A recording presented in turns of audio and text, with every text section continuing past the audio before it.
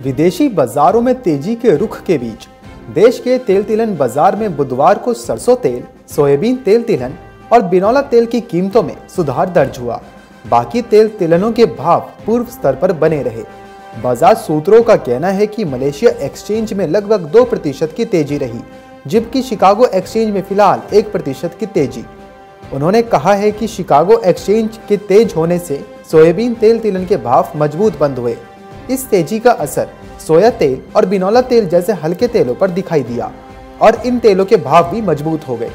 आपको बता दें कि जाड़े में पामोलिन और सीपीओ की मांग कमज़ोर रहती है, क्योंकि इसे हार्ड ऑयल माना जाता है, जो जाड़े के मौसम में जम जाते हैं। सूत्रों का कहना है कि देश में आयात शुल्क में कमी किए जाने के बाद मलेशिया में तेलों के भाव बढ़ा दिए गए हैं। उनका कहना है कि देश की मंडियों में बुधवार को सोयाबीन की आवक घटकर तीन लाख बोरी से कम रह गई। इससे भी सोयाबीन में सुधार आया है। उनका कहना है कि सामान्य कारोबार के बीच सरसों दाना के भाव पूर्ववत बने रहे, जबकि सोयाबीन तेल के भाव मज़बूत होने से सरसों तेल और बिनौला तेल जैसे हल्के तेलों के भाव भी मज़बूत हो गए।